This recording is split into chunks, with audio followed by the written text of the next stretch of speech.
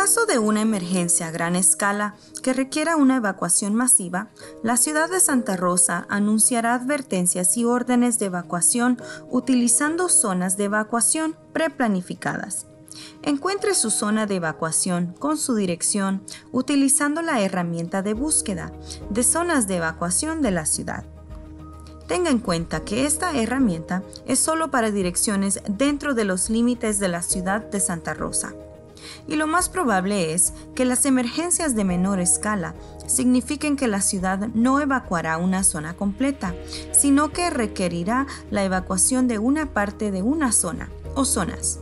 De cualquier manera, es importante conocer su zona de evacuación.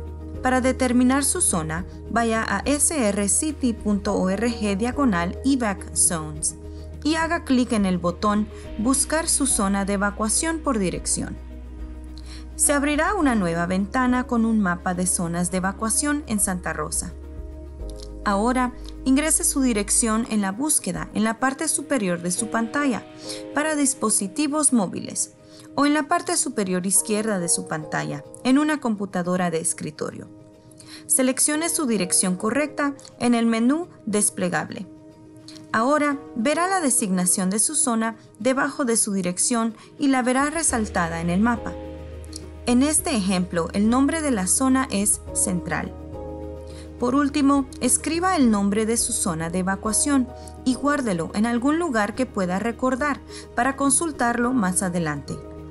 Si una emergencia requiere la evacuación de su zona, los oficiales de seguridad pública usarán el nombre de su zona cuando emitan evacuaciones utilizando nuestros sistemas de alertas y advertencias públicas.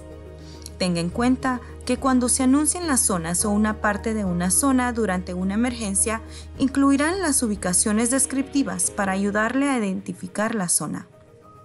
Una emergencia puede ocurrir en cualquier momento y es importante estar preparado.